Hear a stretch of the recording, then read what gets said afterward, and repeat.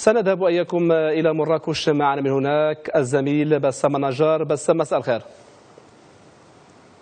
أهلا بك عبد الله وتحية لضيفك سي فؤاد وسي مراد واهلا بكل مشاهدي قناة ميديان تيفي بسام كنت اليوم برفقة فريق ريال مدريد عاينت الحصة التدريبية والمؤتمر الصحفي الذي عقده النادي الملكي ممثلا بالمدرب كارلو أنشيلوتي والمدافع سيرجيو راموس ما الجديد داخل معسكر الفريق الإسباني؟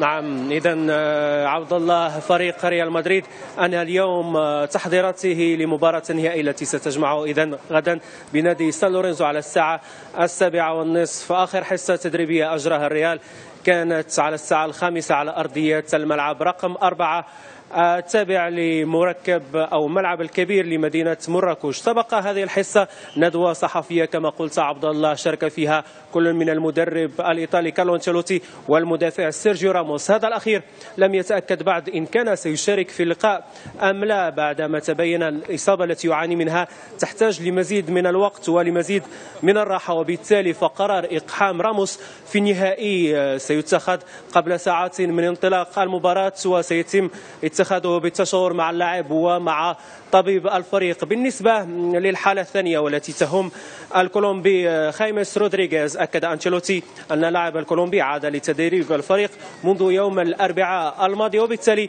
فهذا اللاعب سيشارك بدون محالة بلا محالة في في المباراة النهائية بعدما تعافى تماما من الإصابة التي كان يشكو منها. أنشيلوتي أكد من جهة ثانية أن لاعبيه سيلعبون أو سيلعبون من دون أي تحفيز رغم أنهم سيلعبون تحت ضغط كبير بعدما يعني يريدون أن ينهوا هذه السنة بأفضل طريقة ممكنة.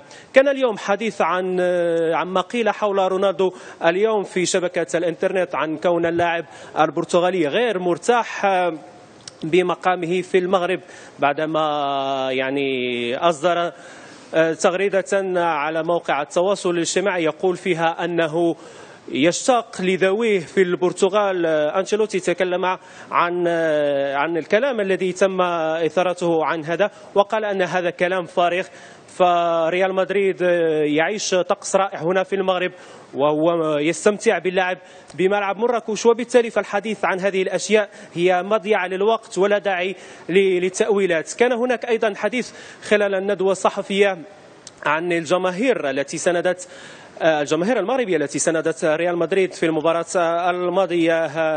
راموس أجاب بخصوص هذه المسألة وقال أنه تفاجأ كما تفاجأ زملائه بحرارة الجماهير المغربية وقال أنها عوضت غياب الجماهير المدريدية في اللقاء الماضي. الجماهير المدريدية عبد الله للإشارة ستكون حاضرة غدا. يوم السبت وسيقدر عددها بحوالي ثلاثة آلاف مشجع وسيتم استقبالها هي وجمعية أنصار فريق ريال مدريد المغربية. سيتم استقبال الجميع غدا صباحا وبالتحديد على الساعة الثانية عشرة بقصر المؤتمرات بمراكش برئاسة رئيس نادي ريال مدريد فيورنتينو بيريز وكذلك إميليو بوتراغينيو وأيضا اللاعب الكرواتي لوكا مودريتش المصاب والذي لا يلعب هذه البطولة. نعم بسام هذا بالنسبة لفريق ريال مدريد. بالنسبة لفريق سالورينزو الأرجنتيني ورغم أنه وصل يعني بصعوبة للمباراة النهائية إلا أنه يحمل أمل عشاق الكرة في أمريكا الجنوبية بأكملها ويطمح لتحقيق فوز تاريخي على ريال مدريد.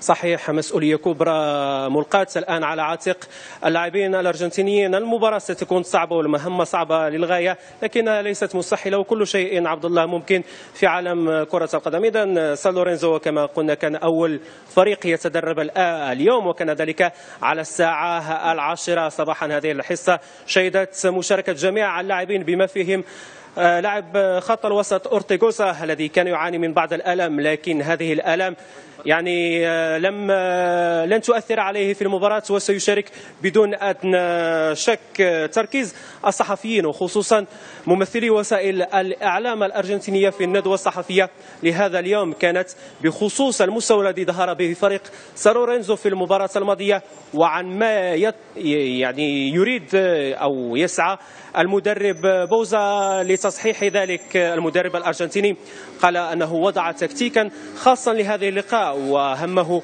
الأول يبقى منصبا على استرجاع اللياقة البدنية للاعبيه خصوصا أن لاعبي الريال سيستفيدون من يوم راحة إضافي.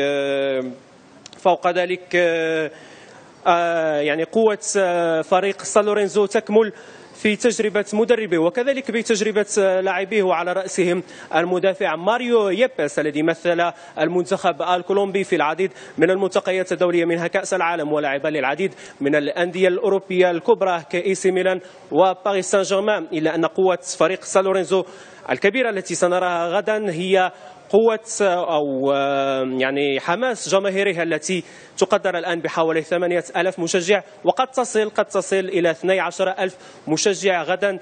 السبت كما أن فريق سان لورينزو سيحظى بدون أدنى شك بمتابعة وبتشجيع من مشجع من نوع خاص ومن قلب الفاتيكان حيث أن بابا الكنيسة الكاثوليكية فرانسيس الأول يبقى هو المشجع الأشهر عبر العالم لنادي سالورينزو الأرجنتيني.